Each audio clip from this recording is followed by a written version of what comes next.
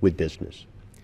Uh, I will have more to say, but I have been joined by a couple of my colleagues uh, who are concerned about this, who have been working in this arena, who have some proposals. Uh, and I would turn first to my colleague from Maryland, Mr. Delaney, uh, who has been working in this space, uh, adding to the conversation in a way to help us move forward, and I would be happy to yield to him for some comments. Thank you, Mr. Speaker, uh, and thank uh, you, my good friend from Oregon, for your really singular leadership on this issue um, and your unwavering commitment to make sure these problems get solved. So, Mr. Speaker, every uh, two years, the uh, American Society of Civil Engineers does an analysis of the U.S. infrastructure needs and an assessment of our infrastructure as it relates to our competitors around the world.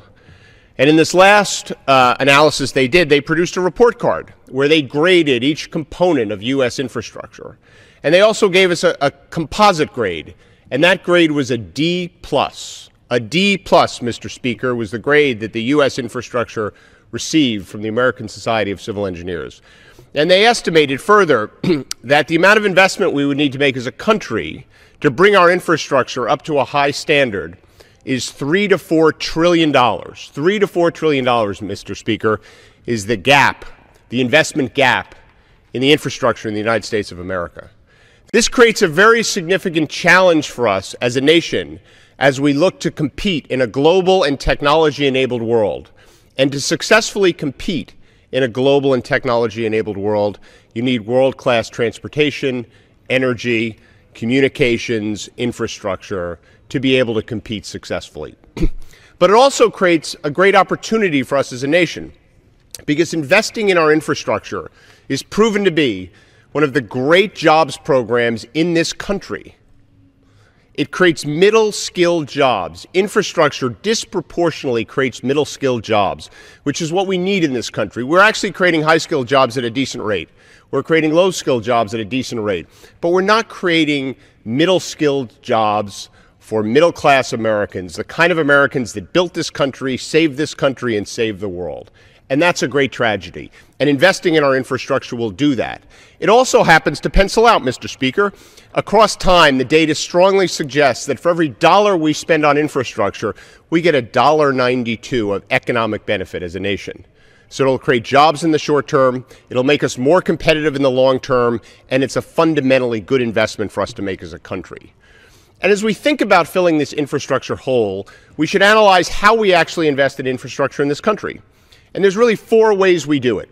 First, government. Federal governments, state governments, and local governments actually grant money to build infrastructure, particularly infrastructure that is used for the public or common good. And that's an important role of government. And government is unique in its ability to do that. The second way we build infrastructure is through financing it with user fees. Things like the Highway Trust Fund that my colleague referred to has largely been financed through a gas tax. And there's other examples at airports, et cetera, where we charge user fees and that money is collected and we build infrastructure with it. The third way we build infrastructure in this country is through public private partnerships, where we go to the private sector and for certain types of infrastructure, we get the private sector to build the infrastructure. And then finally, the fourth way we build infrastructure is we finance it. In other words, State governments and local governments borrow money to build infrastructure. These are the four ways we build infrastructure in this country.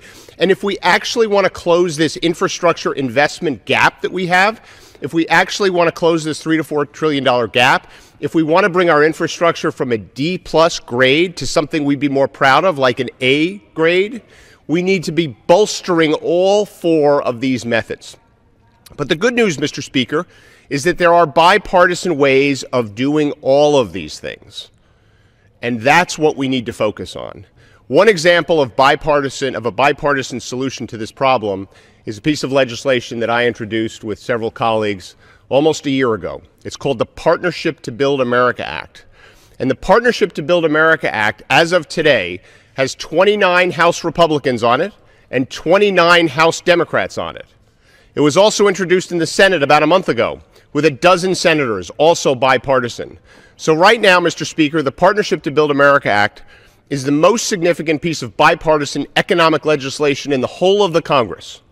And what it does is it creates a large scale infrastructure financing vehicle called the American Infrastructure Fund, which will be capitalized for 50 years and be used by states and local governments to build and finance infrastructure. But the money in the American Infrastructure Fund, Mr. Speaker, is not put in by the federal government, but it's put in by corporations who invest and buy very low cost bonds to finance the American Infrastructure Fund over 50 years. And as an incentive to get them to put this money in, we allow them to bring back a certain amount of their uh, overseas earnings, their overseas cash, back to the United States tax free.